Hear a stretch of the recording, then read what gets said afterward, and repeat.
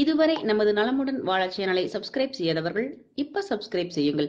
மேலும் எங்கள் புதிய வீடியோக்களை உடனுக்குடன் பெற பக்கத்தில் இருக்கும் பெல் சிம்பலையும் ஒருமுறை பிரஸ் செய்யுங்கள். வணக்கம். இரவு தூங்குவதற்கு முன்பு வாழைப்பழம் சாப்பிடலாமா? சாப்பிட்ட உணவு செரிப்பது மிகவும் அவசியமான ஒன்றாகும். அதற்காக இரவு உணவினை குறைவாக சாப்பிடுங்கள் பழங்களை சாப்பிடுங்கள் என்று சொல்லப்படுவதுண்டு. சிலர் இரவு உணவு எடுத்துக்கொண்டு தூங்குவதற்கு சில நிமிடங்கள் முன்னதாக பழத்தை சாப்பிட்டுவிட்டு படுப்பார்கள். இன்னும் சிலரோ இரவு நன்றாக தூக்கம் வர வேண்டும் என்று சொல்லி வாழைப்பழம் சாப்பிடுவார்கள்.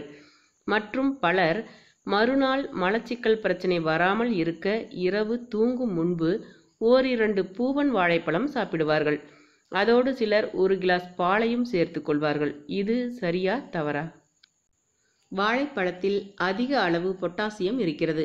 இவை நம் இதயத்திற்கு மிகவும் நல்லது. அதோடு நம்முடைய இரத்த அழுத்தத்தை கட்டுப்படுத்தி மாரடைப்பு வராமல் தடுக்கவும் உதவுகிறது. வாழைப்பழம் சாப்பிட்டவுடன் எளிதில் நம் இரத்தத்தில் சர்க்கரை அளவு கூடுகிறது. அதனால் சோர்வாக உணரும் பொழுது வாழைப்பழம் சாப்பிட்டால் புத்துணர்ச்சி கிடைக்கும் என்று பரிந்துரைக்கப்படுகிறது.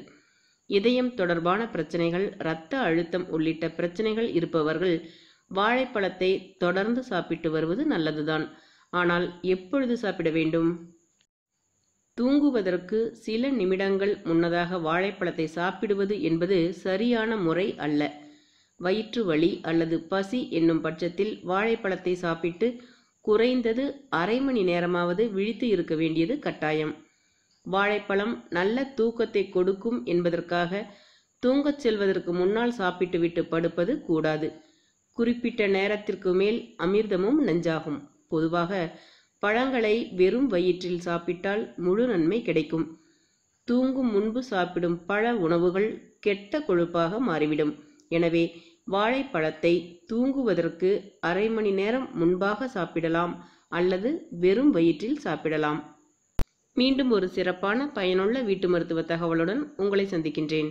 இந்த வீடியோ உங்களுக்கு பிடித்திருந்தால் லைக் செய்யுங்கள் ஷேர் செய்யுங்கள். உங்களுக்கு ஏற்படும் சந்தேகங்களையும் கேள்விகளையும் கீழே கமெண்ட்ஸில் கேளுங்கள். இதுவரை நீங்கள் நமது நலமுடன் வாழ சேனலை சப்ஸ்கிரைப் செய்யாமல் இருந்தால் இப்பொழுது சப்ஸ்கிரைப் செய்யுங்கள். நன்றி.